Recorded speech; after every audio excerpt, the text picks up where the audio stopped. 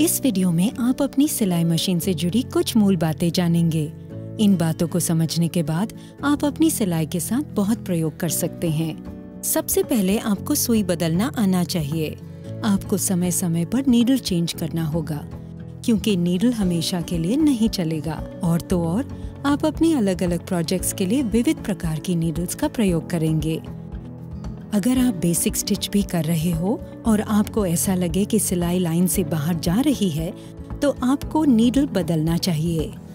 Needle बदलने के लिए नीडल क्लैम्प पेज को बाईं तरफ़ घुमाकर ढीला करें। नीडल क्लैम्प से नीडल निकालें। आप देखेंगे कि नीडल का एक सिरा एक तरफ़ से चपटा है और दूसरी तरफ़ से गोल होता है। नीडल को वापस लगाने के लिए उसे ध्यान से ऊपर नीडल बार की स्टॉपर तक सरकाएँ। ध्यान रहे कि नीडल का चपटा हिस्सा नीडल बार की तरफ़ हो। नीडल क्लैम्प पेज को कस कर घुमाएँ, ताकि नीडल हिले नहीं। अब हम रील लपेटना सीखेंगे।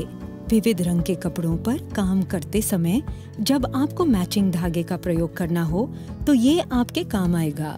रील होल्डर को ऊपर की तरफ़ खींच के इसमें रील डालें। अब एक्सटेंशन टेबल को हटा दें। कवर खोलकर शटल में से बॉबिन केस निकालें। अब बॉबिन को केस से अलग कर दें। अब रील से धागा खींचे, उसे थ्रेड गाइड के नीचे से पार करें। धागे को बॉबिन के छेद से गुजारें। बॉबिन को बॉबिन वाइंडर स्पिंडल में से इस तरह रखें कि धागे का खुला सिरा ऊपर हो। अब बॉबिन वाइंडर स्पिंडल को दहनी ओर धकेल कर बैलेंस व्हील को बाहर खींचे। इससे मशीन अलग हो जाएगी और आप धागा समेट पाएँगे। धागे को इस तरह पकड़कर फुट कंट्रोलर दबाकर मशीन चलाएँ। धागा दो तीन राउंड लिपट जाने पर मशीन बंद करें और बॉबिन पर लगाए अतिरिक्त धागे को इस तरह से काट लें। अब धागा लिपटना तब तक जारी रखें जब तक बॉबिन पूरी तरह से भर न जाए। बॉबिन वाइंडर अपने आप रुक जाएगा। अब धागा काटें बॉबिन होल्डर को बाईं ओर धकेलें। बॉबिन को बॉबिन वाइंडर स्पूल से निकालें। उसे केस में इस तरह से रखें कि धागा बाईं ओर से खुले। धागे को टेंशन प्लेट में फंसाकर खींचे। ध्यान रहे कि केस में बॉबिन बाईं ओर घूमना चाहिए। अब बॉबिन को शटल असेंबली में उसकी क्लच लीवर वाली साइड से डालें। शटल को कवर करके एक्सटेंशन टेबल लगा दें।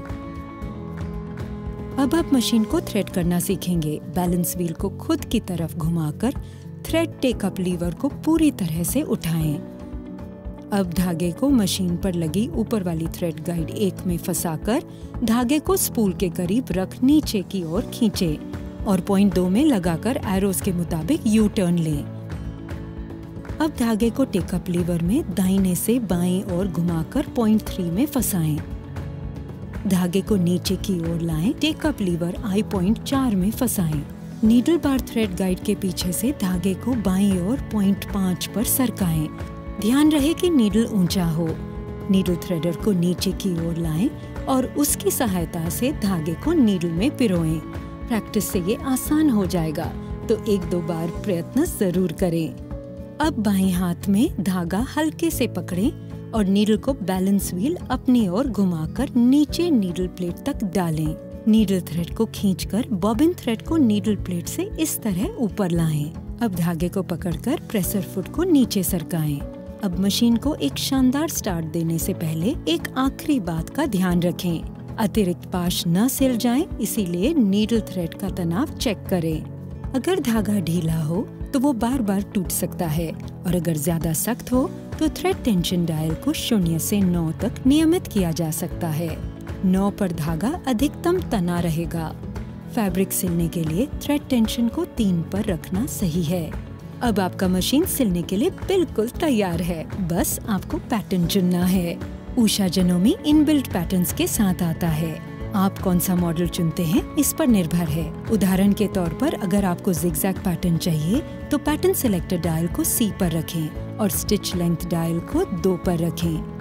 तो अब एक फैब्रिक लेकर अलग अलग पैटर्न्स और लेंस के साथ जी भरकर एक्सपेरिमेंट करें और इफ़ेक्ट देखें।